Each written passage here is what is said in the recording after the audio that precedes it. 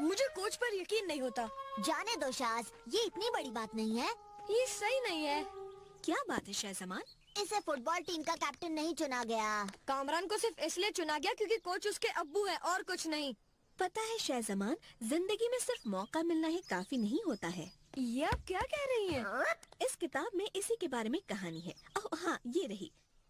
अबू वादी नाम का एक आदमी था जो फैस नाम के शहर में रहता था। वो अपनी माँ के गराज में रहता था जहाँ इसकी छोटी सी दुकान थी। वादी! तुम्हें पुकार पुकार कर थक जाती हूँ मैं।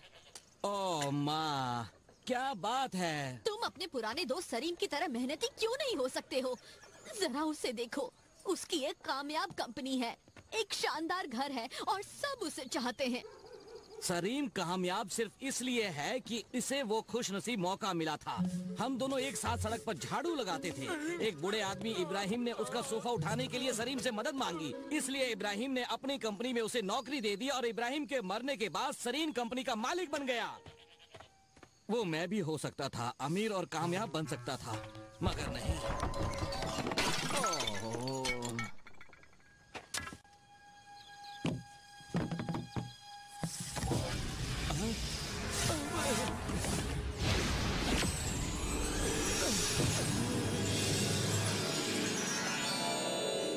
बखैर आका मैं हूँ जिन गजिंदर। आ, तुम जिन तो नहीं लगते? मैं जिन ही हूँ।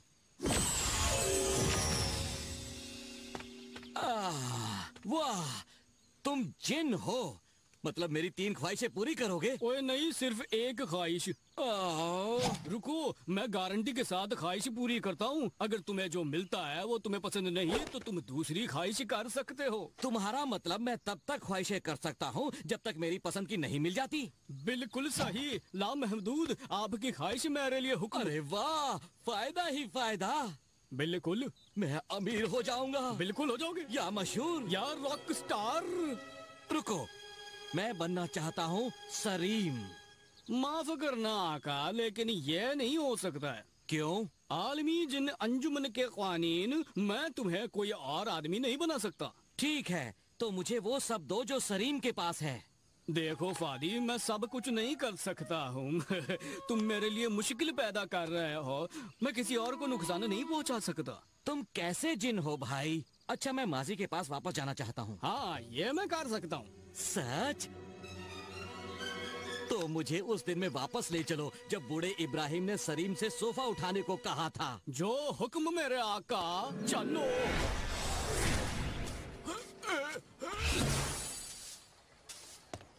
सुबह बखैर जनाब इब्राहिम साहब। क्या मैं सोफा उठाने में आपकी मदद करूँ? हाँ हाँ क्यों नहीं? कि शुक्रिया। तुम मेरे कारोबार को बहुत आगे ले जाओगे बेटा। खुश आमदेद फिर मिलते हैं। चलो ये काम तो तुमने कर दिया। अब मुझे मेरी नई ज़िंदगी में ले चलो। अभी ले चलता हूँ जनाब। हाँ? एक मिनट रुको। ये क्या है? मेरा बड़ा सा घर कहाँ है? यही तो आपका घर है। मगर कुछ भी नहीं बदला। मैं तो वही हूँ। मैं इब्राहिम का पार्टनर बन गया था ना? बने तो थे। तो मैं अब तक यही क्यों हूँ? इब्राहिम के इंतकाल के बाद तुमने उसका कारोबार संभाला। लेकिन तुमने काम ठीक से नहीं किया। तुम देर से आते थे और जल्दी चले जाते थे। नए ग्राहक लाना तो दूर की बात है। तुमने तो पुराने भी खो दिए। मैं दिवालिया हो गया। मैं नहीं मान सकता। ये क्या है? सरीम हाकिम बन गया। दूसरी बार बना है। लेकिन ये कैसे हुआ? वो सड़कों पर झाड़ू लगाता रहा और एक दिन उसने अपने आप को हाकिम के घर के सामने पाया। जनाब हुसैन की तबीयत खराब है। आज रात की पार्टी के लिए काम करने वाला कोई नहीं। तुम किसी और को नहीं ढूंढ सकते। हम्म, हे सुनो झाड़ू वाले तुम। क्या तुम कुछ ज़्यादा पैसा कमाना चाहते हो? तो सरीम हाकिम के घर काम पर लग गया। आज रात सबको आपकी तकरीर पसंद आएगी। हाँ मगर मुझे ये लाइन कुछ ठीक नहीं लग रही है। अब, इस शहर में पैसा खत्म हो जाएगा और फिर आप सोचेंगे कि काश आपने मेरी बात मान ली होती। ये तो अच्छा है जनाब जोरदार है। नहीं मुझे नहीं लगता। तुम्हारा क्या ख्याल है? मेरा? मुझे ये पसंद नहीं। इससे लगता है आप गुस्से में हैं। आप कहिए अगर मेरा बजट पास हो गया तो हालात बेहतर हो जाएँगे। हम्म, मुझे ये अच्छा लगा। अगर हम सब साथ मिल जाएँ तो हम तब्दीली ला सकते हैं।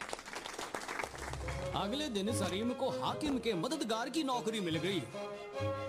वो पढ़ता रहा सीखता रहा और शहरी मामलात का माहिर बन गया। और अब वो हाकिम है। वो आदमी हमेशा सही वक्त पर सही जगह होता है। अगर तुम अपनी पिछली ख्वाहिश से खुश नहीं हो तो दूसरी बताओ मैं पूरी कर दूँगा चलो। मुझे उसी दिन में हाकिम के घर के सामने ले चलो। हे सुनो झाड़ू वाले क्या तुम ज़्यादा पैसा कमाना चाहता हूँ? हाँ ज़रूर।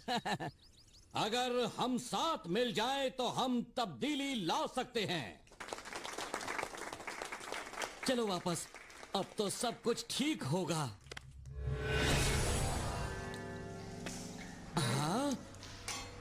मैं यकीन नहीं कर सकता। ये हो क्या रहा है? मैं तो हाकिम के लिए काम करता था ना? ये क्या हुआ? चलो फादी मालूम करते हैं। हाकिम के मददगार के तौर पर तुमने कोई भी काम सही नहीं किया। मैं यहाँ हाकिम से मिलने आई हूँ। लेकिन हाकिम साहब तो मसरूफ हैं। क्या वो अब भी मसरूफ है? मैं आपको अंदर भेज सकता हूँ। तुमने रिश्वत लेनी शुरू कर दी। तुम्हें कीमती तोहफे मिले। लेकिन बदकिस्मती से यह ज़्यादा दिन नहीं चल सका। क्या अब मैं जेल में ही रहूँगा? एक मिनट। क्या वो सलीम है? शहर के हॉल में उसका शो है। हाँ वो एक अजीम संगीतकार बन गया है। मेरी बात सुनो गजिंदर मैं अपनी पिछली ख्वाहिश से बिल्कुल भी खुश नहीं हूँ। मैं एक अजीम संगीतकार बनना चाहता हूँ। ज़रूर आका अभी लीजिए। अरे तुम देखने वालों को तो भूल ही गए। आका तुम एक संगीतकार हो लेकिन तुम्हें सुनने कोई नहीं आया है। लेकिन क्यों? रियाज के बगैर फन कुछ नहीं होता। ओह कितनी शक कर लेंगे आका?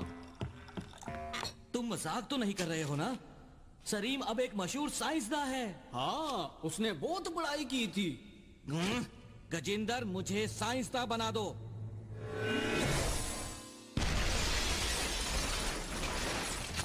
कुछ दवाओं को मिलाना नहीं चाहिए आका। कोई दूसरी ख्वाहिश?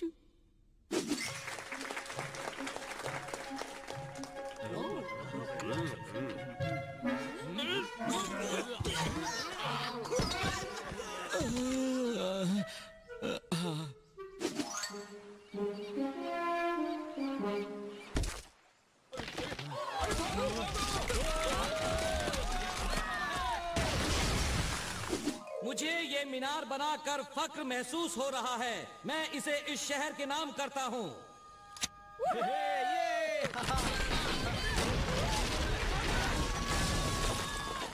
नहीं।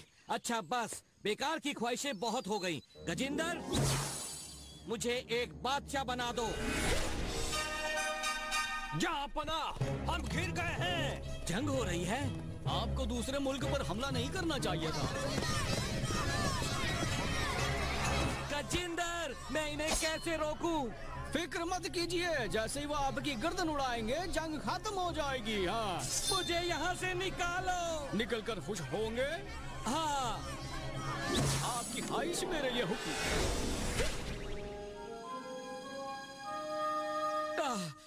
शुक्र है खुदा का वहाँ से निकल आए। अच्छी बात है। खिदमत करके खुशी हुई।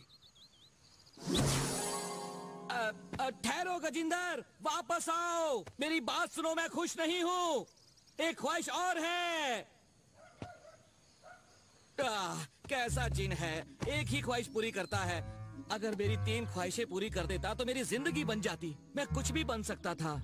देखा तुमने ज़िंदगी में मौके मिलना ही काफ़ी नहीं। उनका सही इस्तेमाल भी होना चाहिए। और फ़िक्र न करो अभी तो शुरुआत है। तुम वाइस कैप्टन भी बन सकते हो। ए, तुम लोगों ने सुना? मुझे आज फुटबॉल टीम का वाइस कैप्टन बना दिया। देखो। क्या? मैंने ऐसा क्या कह दिया? कुछ गलत कह दिया क्या? दुनिया को वाइस